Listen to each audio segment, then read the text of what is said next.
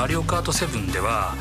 えー、マシンをですねカスタムできるように今回はしてみました。自分のレーススタイルに合わせてタイヤとそのフレームとあとは空を飛ぶためのグライダーをですね自分でこう好きなように組み合わせて例えばこうフレームでもその重量級のフレームやその軽量級のフレームをこう使い分けるとかあとはタイヤもですねハイグリップタイヤにしてみるとか、えー、ダートに強いこうでかいタイヤっていうんですかね、まあ、この組み合わせでその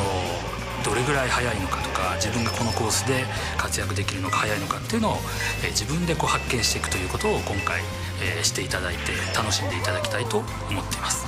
新しい全く新しいコースを16コース追加で作りましたで今回はその陸海空、えー、いろんな飛んだりとかスイッチの中を行くんですけどもその新しいコースはもちろんそういうのをいろいろ取り込んだコースになりますし過去のコースも、えー、若干その水中やその空を飛ぶということがあの新規要素として盛り込んだ上で、えー、過去のコースを、まあ、改めてあの楽しんでいただけることに、えー、なります。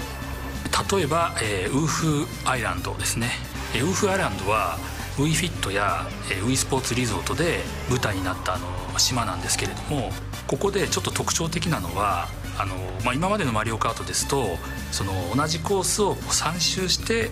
えー、3周したゴールするみたいなそういう、まあ、レースになっていましたけどもウーフアイランドに関してはスタートからゴールまで長いコースをもう走りきると。とにかくいろんな仕掛けが盛り込まれて最後まで走りきって、まあ、1位なのかみたいな。そういうコースも今回は用意しているんです。新しいキャラクターがですね何体かまたあの用意しようと思ってるんですね。今回はその中で、えー、2つのキャラクターをちょっと紹介したいと思います、えー、まず1つは、えー、メタルマリオですね。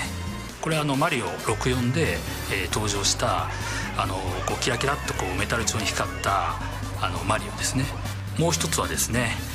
えー、新しいキャラクターとしては、えー、ジュゲムですか。スターターですね。こうシグナルを持ってこうスタート時にこうピッピッピッポンと、えー、そういう役でずっと出ていたんですが実際にあのレースに参戦するということはあの今回が初めてなんですけれどもジュゲームがなんか好きだっていう人は本当に使っていただければいいなと思っています。まあ、今回何個かアイテムを追加したんですけども今日はその中で一つあの紹介をしたいと思います、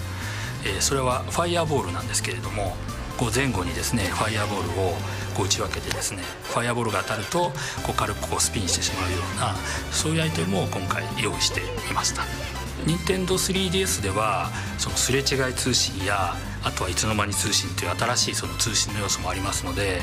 えー、いつの間に通信すれ違い通信そしてインターネット対戦と、まあ、いろんな通信についてのあの遊びをですね、えー、盛り込んでみ、えー、たいと考えています。いつの間に通信では世界中のマリオカートプレイヤーのゴーストを、えー、そのダウンロードでですねいつの間にか、えー、ゴーストが自分のとこにやってきてで対戦できるようなそういうことを考えたいと思っています。すれ違い通信でではですねそのすれ違い通信によってマリオカートのプレイヤーの、えー、ゴーストのデータですねそれをお互いに交換するようなことは、えー、やろうと思ってるんですね、えー、それだけではなくてそのすれ違い通信で出会った人たちで、えー、インターネットでも対戦できるようなちょっとそういう新しいことを